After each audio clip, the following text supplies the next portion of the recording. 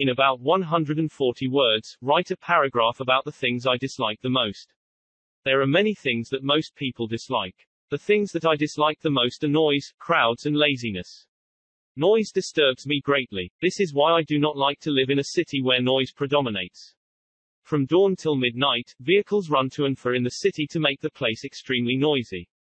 The noise is further increased by the voices of thousands of people engaged in all kinds of activity and the sounds of other things such as busy factories and machines. For this reason, the very thought of going to a city distasteful to me.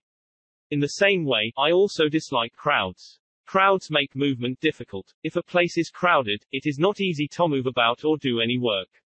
If we are in a hurry to go somewhere, a crowd can delay our progress.